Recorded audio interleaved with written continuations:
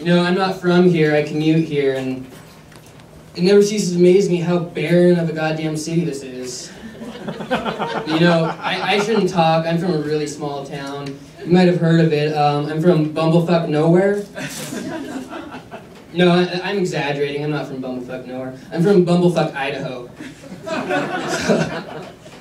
yeah, uh, me and my friend Josh, another comedian, we actually commute here. Last week, it took us a half hour to get from Coeur d'Alene to Post Falls, and then 20 minutes to get from Post Falls to Spokane. There's there's an accident on the road. Um, you know, we were moving about five miles an hour, and when we finally got to the wreckage, we were just stopped there, and I asked the cop like, "Why did it take so long?" He's like, "Oh, we would have gotten it cleaned up faster, but we had to go on a donut run. The blood reminded us of jelly donuts."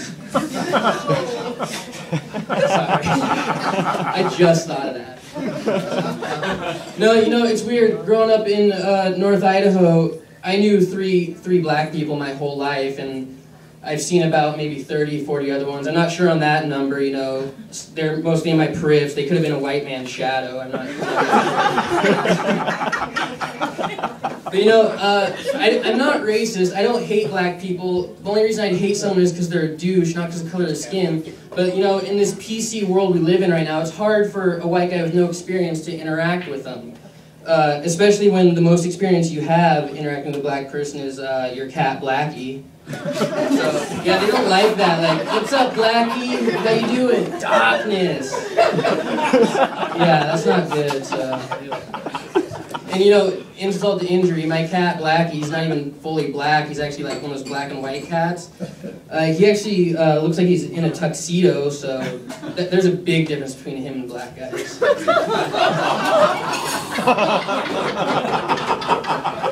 okay, let me see here. I think Christians should be pro-abortion. Woo! Yeah. Woo! Woo! Okay, you want to know why? Please. you got the one Christian right there. Tell me. This is why. When you, you abort a baby, that baby goes straight to heaven. He lives in heaven. His dad would be God. God would raise him instead of, you know, some 22 year old burger flipping, dope smoking wankster named C Train. Name's Christopher, okay?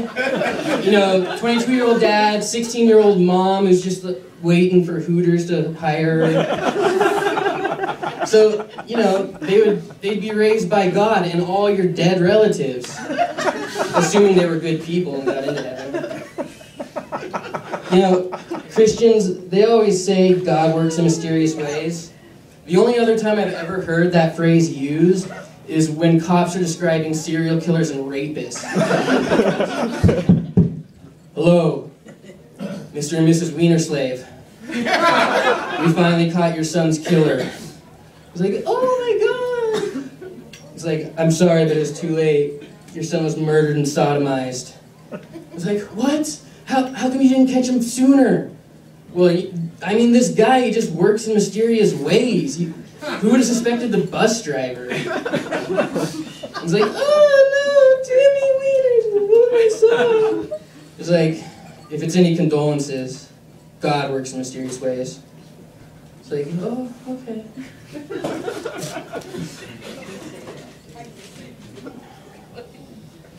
So you know, I'm I'm pretty terrible at talking with women.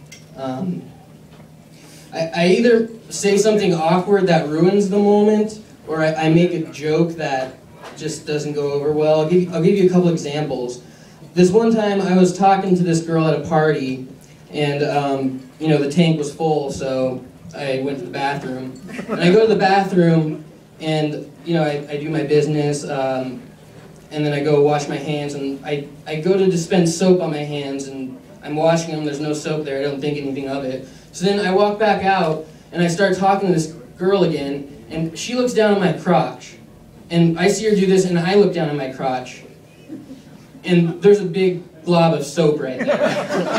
and I look up, and I meet her eyes, and I just say the first thing that pops into my head. I'm like, uh, the next one's got your face all over it. she she did not like that one bit. Um, yeah, she actually she she walked away. She's like, "You pervert motherfucker!" like, like, whoa, language. You need to really wash your mouth out with soap. Is that it? Okay, I, I got one more. Axe just came out with a body spray line for women, and uh, I, I came up with a great campaign slogan for it. Uh, the best way to avoid douches trying to get in your pants is to smell like you just fucked one. Thanks, guys.